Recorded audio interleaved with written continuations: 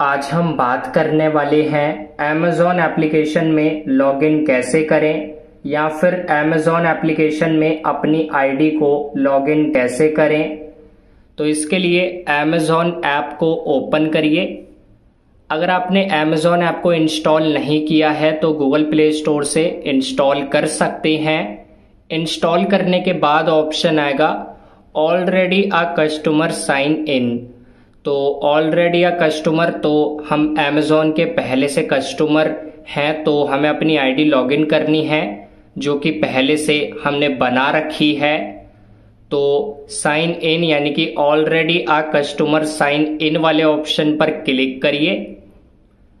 जैसे ही क्लिक करेंगे, यहाँ पर ऐसा इंटरफेस आएगा ईमेल और फ़ोन नंबर पर क्लिक करिए। अब यहाँ पर अपना फ़ोन नंबर या फिर ईमेल आईडी एंटर करिए। अगर आपका अकाउंट फ़ोन नंबर से है तो फ़ोन नंबर एंटर करेंगे। ईमेल आईडी से है तो वो ईमेल आईडी एंटर करिए। अगर दोनों से ही आपने अपना अकाउंट बनाया है तो दोनों में से कोई एक चीज़ एंटर कर सकते हैं।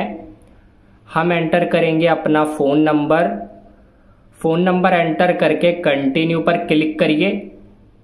थोड़ा सा वेट करिए। अब आपसे मांगेगा आपके अकाउंट का पासवर्ड तो अमेजोन पासवर्ड पर क्लिक करके पासवर्ड को एंटर करिए। अब हो सकता है आपको पासवर्ड याद नहीं होगा तो फॉरगॉट पासवर्ड पर क्लिक करिए। अब उसके बाद यहाँ पर आपका ये नंबर ऑटोमेटिकली डिटेक्ट कर लेगा। कंटिन्यू पर क्लिक करिए। अब आपके नंबर पर ओटीपी सेंड किया जाएगा। तो एंटर ओटीपी पर क्लिक करके ओटीपी एंटर करिए। उसके बाद कंटिन्यू करिए। अब यहाँ पर एंटर न्यू पासवर्ड पर क्लिक करके एक नया पासवर्ड बनाइए अपने एमेजोन अकाउंट का। पासवर्ड बनाने के बाद री एंटर न्यू पासवर्ड पर क्लिक करके फिर से पासवर्ड को एंटर करिए। उसके बाद सेव चेंजेस पर क्लिक करिए।